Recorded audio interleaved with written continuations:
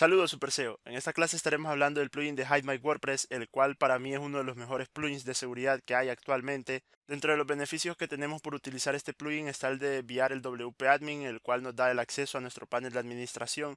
También con la versión de pago podemos hacer cosas muchísimo más interesantes. Por ejemplo, podemos ocultar un WordPress, digamos en este caso iRace.net yo lo podría pasar por una herramienta como esta que detecta qué plugins y qué themes está utilizando un sitio web. Entonces, digamos, por ejemplo, si yo aquí pusiera mi web de comidas hondureña.com y le doy a detectar, podré notar entonces que esta herramienta lo que hace es detectarnos el theme que estoy usando. En este caso me dice que estoy utilizando Astra, lo cual es cierto. Eh, luego puedo seguir bajando y me encontraré con los plugins que estoy utilizando dentro de la web.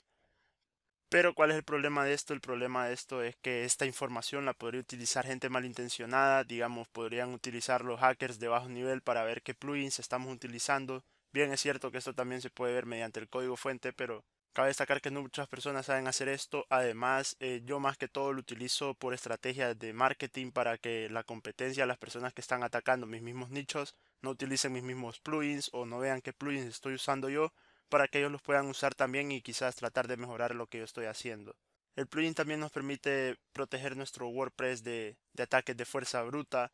Eh, digamos, vaya, por ejemplo, ahora si yo copio mi otro dominio, iRace.net, y le doy a detectar con la herramienta, podré notar que la herramienta me lanza un mensaje que dice que el sitio iRace.net no parece estar construido con WordPress, que revise CMS Detector. Esta es otra herramienta también con la cual podemos detectar CMS. Digamos, por ejemplo, podríamos ver si está trabajando con WordPress, con Joomla, con Drupal o con cualquier CMS. Lo voy a detectar. Y como puedes notar, entonces dice que tampoco reconocieron el CMS utilizado en iRace.net. Bien, ¿esto por qué sucede? iRace.net en realidad es un WordPress. Lo que sucede es que no está dejando a las herramientas ver toda la información necesaria para obtener estos datos. Así que si tú quieres aprender a hacer esto también, entonces tienes que ver este tutorial.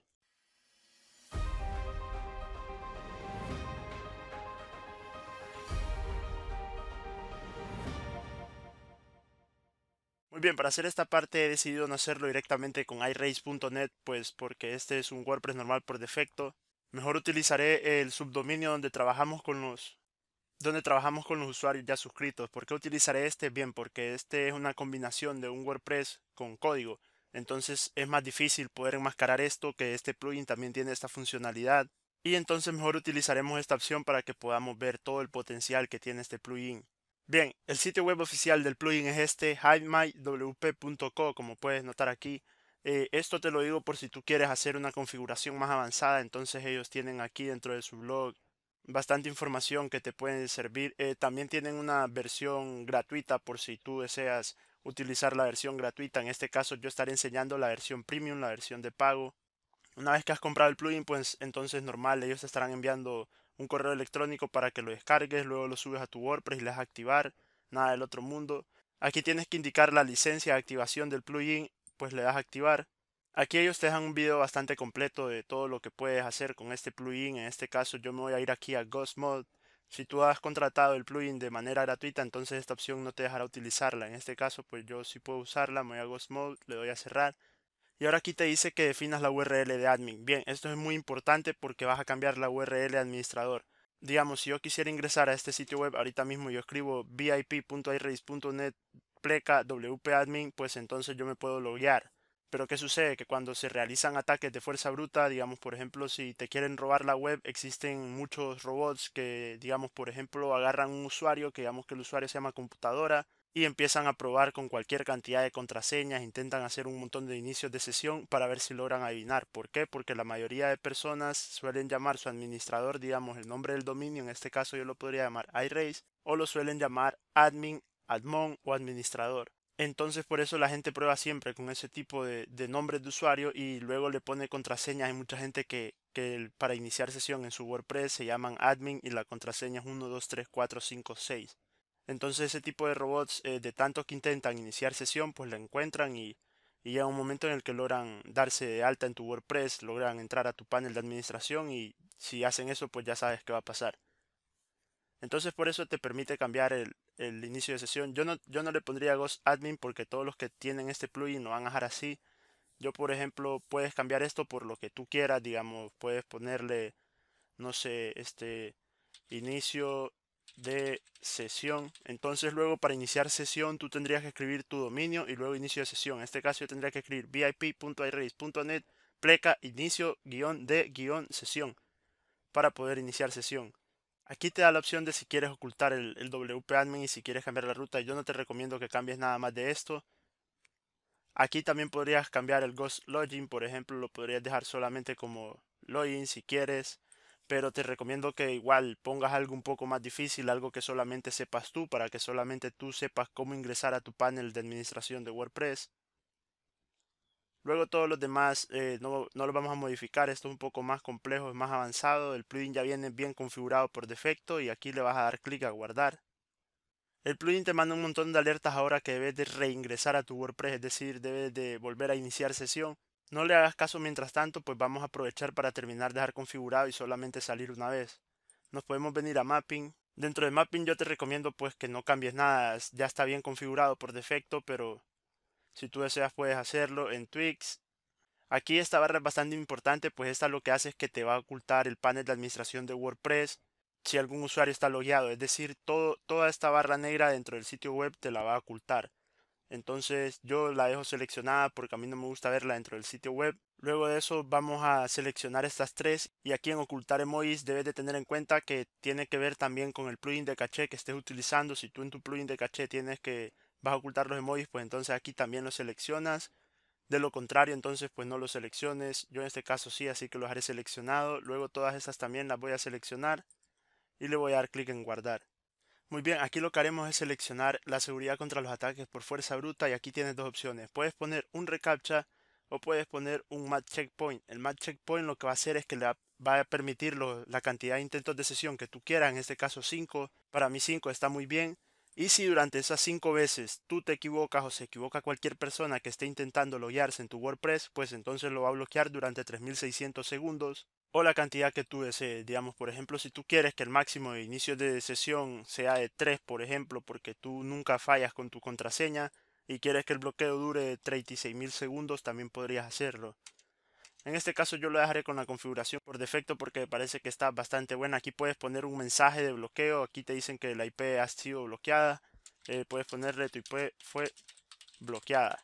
Y aquí hay algo muy muy importante que tú puedes poner la lista blanca de IPs, o sea, tú puedes poner la IP de tu computadora como la única que puede iniciar sesión, pero con esto tienes que tener cuidado, pues si algún día tu computadora se pierde, te la roban o se daña, vas a perder el inicio de sesión de WordPress y entonces te va a tocar contactar al hosting para que el hosting para que el hosting elimine desde el cPanel este plugin, pero te lo advierto desde ahorita que si el plugin detecta que fue eliminado del cPanel, entonces estás metido en problemas serios. Así que yo por eso no pongo en lista blanca las IPs, creo que es suficiente con el match checkpoint. Y aquí puedes banear IPs, es decir, si tú te das cuenta que la IP tal te está intentando ingresar a tu WordPress, pues entonces tú la pones aquí y esa IP ya no va a poder ingresar nunca más al WordPress. O también podrías seleccionar un reCAPTCHA. Eh, para el, el reCAPTCHA es súper, súper fácil. Solamente le tienes que dar clic aquí a Google reCAPTCHA y pues entonces aquí te estará poniendo las opciones para que puedas hacer tu reCAPTCHA. En este caso puedes poner el reCAPTCHA de 3 que es el más difícil, es en el que ponen 9 imágenes y el usuario tiene que elegir las 3 correctas. O puedes usar el reCAPTCHA de 2 que es más sencillo que solamente darle clic, el que tú desees. Luego pones aquí para casilla y le das registrar. Te estarán dando un side key y un secret key. Luego los pones aquí y listo. Entonces cuando hayas elegido cualquiera de las dos configuraciones, yo en este caso podría elegir Match Checkpoint solamente le tienes que dar clic en guardar y listo. Bien, aquí las IP bloqueadas te irán apareciendo todas las IPs que vaya detectando que son maliciosas, que están intentando robarte el WordPress, pero te lo aseguro que en el 99.9% de los casos no te va a aparecer nada. ¿Por qué? Porque recuerda que cambiamos la dirección del WP admin. Recuerda que le pusimos inicio guion de guion sesión. Muy pocas personas en el mundo sabrían, tú en este caso sabes que yo le he llamado así porque estás viendo este tutorial, pero si yo más adelante decido cambiarlo por cualquier otra palabra, digamos computadora, cama, audífonos, lo que sea, sería muy difícil que puedas identificar desde dónde puedes ingresar al panel de sesión de, WordPress. Y por eso casi siempre te va a salir la lista en blanco, pero si tú lo dejas normal con el WP admin podrás notar que la lista sí comienza a ingresar IP bloqueada. Aquí podrías seleccionar quiénes pueden ingresar al panel de sesión, esto ya dependiendo de tu proyecto. Este video está dirigido más que todas las personas que hacen blogs de información para monetizar con AdSense o Amazon. Y ahora ya si tú tienes una web, eh, digamos una red social, en algo donde donde están ingresando bastantes usuarios, pues entonces esta opción sí te podría funcionar bastante para ver cuáles son los roles y quiénes pueden ingresar al panel de administración. Aquí en el punto de seguridad tú puedes hacer un, escáner de, de toda la información de seguridad de tu sitio web actualmente. Entonces, digamos, esto sí te recomiendo que lo hagas, pero yo no lo puedo hacer porque todavía no he reingresado a mi WordPress, tengo que volver a iniciar sesión, entonces por eso me va a dar un error. Así que mientras tanto no lo haré, pero tú sí lo puedes hacer. Esto es por si algún día hay un fallo dentro del WordPress, dentro del plugin, hay algún conflicto de plugins o algo, pues bien, entonces vas a recordar hasta dónde fue el último punto en el que estaba seguro pero muy importante, esto no te está haciendo un backup de WordPress, no vayas a confundir. Esto solamente está haciendo un escáner de si tu WordPress está seguro. Ya si quieres hacer un backup, pues tienes que utilizar un plugin para un backup o pedirle un backup a tu hosting. Luego aquí en plugins te indican que este plugin es compatible con WP Super Cache, con Automitis, con IT Security, con Minify HTML, Sucuri, Backup WordPress. Te indican todos los plugins con los que este es compatible, con el cual lo, lo testean ellos siempre pero yo no te recomiendo que estés utilizando este plugin junto con IT Security porque ambos, a pesar de que son compatibles, tú los puedes usar tanto en la versión gratuita como en la versión Pro, cumplen prácticamente las mismas funcionalidades y pues entonces sería tener dos plugins haciendo lo mismo y lo único que hace es cargar tu base de datos de tu WordPress y volverlo más lento. Entonces yo en lo personal te recomiendo que si tienes la versión Pro de este plugin de Hide My WordPress suficiente ya si estás utilizando la versión gratuita, pues entonces sí puedes hacer una combinación de los dos plugins para tener mucho más seguridad. Aquí en Backup puedes restaurar la configuración, fue lo que te dije, la configuración de seguridad, no significa que es un backup de tu WordPress. Entonces, antes de hacer esto, sí que tienes que tener todos los cuidados que tiene cualquier profesional que sabe trabajar con WordPress, crear un backup con cualquier plugin como All-in-One, WP Migration o como Updraft Plus o tu preferido, eh, revisar la configuración que vas a, meter, revisar cuál fue el último scan que había hecho con este plugin. Tienes que testear todo eso porque no te puedes cagar en tu web. Y espero que tengas eso bastante consciente. En el 99% de los casos este tipo de cosas ni lo vas a utilizar. O sea, yo te lo estoy mostrando por si algún día pues eh, tuviste algún problema serio, pues aquí está el video para que puedas verlo pero sería muy muy raro que tú tengas que estar haciendo backup de seguridad solamente que hayas instalado un plugin Nullet o un tick Nullet o algo que hayas descargado de internet de algún sitio web de piratas informáticos o algo así podría entonces meterte en conflicto porque en realidad sería muy muy muy raro. O sea ya cuando tienes un plugin de seguridad el WordPress es bastante bastante seguro para para las personas que no tienen mucho conocimiento de robar un WordPress digamos. Una persona que no tiene tanto conocimiento de cómo robarse un WordPress no va a poder hacer casi nada con estos plugins de seguridad. Ahora ya los hackers de alto nivel ya ellos sí que podrían robarte un WordPress, pero esa gente no se dedica a andar robando WordPress, hacen cosas más importantes. Así que yo me dejaría de preocupar completamente instalando este plugin. Y por último tenemos la configuración avanzada. Y aquí no te recomiendo que vayas a, cambiar nada, excepto que quieras activar la carga tardía al inicio de sesión, pero esto sí ya tienes que saber muy bien lo que estás haciendo porque si no la vas a cagar. Para esto tienes que estar utilizando un CDN y tienes que hacer una configuración bastante, bastante especial, que también es algo que dudo mucho que, se utilice, pero bien, por si tú lo estás haciendo, entonces el plugin te da la opción de, de poderlo configurar. Y listo, entonces ahora lo único que tienes que hacer es darle clic aquí a este botón verde como notas, ahora ya mi URL no es WP login, sino que es directamente login, porque así le puse al inicio de, la configuración. Le doy a acceder.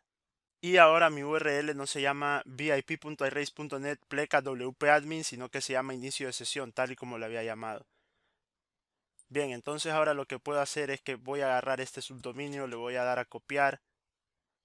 Me vendré a la herramienta que vimos al inicio del video, le voy a dar a pegar y le voy a dar a detectar y ahora la herramienta me lanza el mensaje de que el sitio web vip.irace.net no parece estar construido con WordPress, pero como tú has visto sí en realidad es un WordPress, sí tiene algo de programación especial, pero es un WordPress al fin de cabo.